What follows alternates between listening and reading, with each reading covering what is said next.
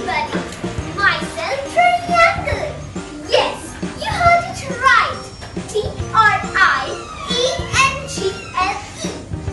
I am the first shape studied in geometry. And I am very special as I am exceptionally strong. Out of all of the two-dimensional shapes, I am the richest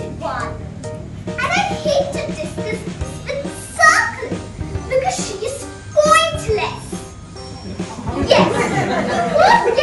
Right! My strength comes from my sheep, and my sheep influenced a lot of as well as students.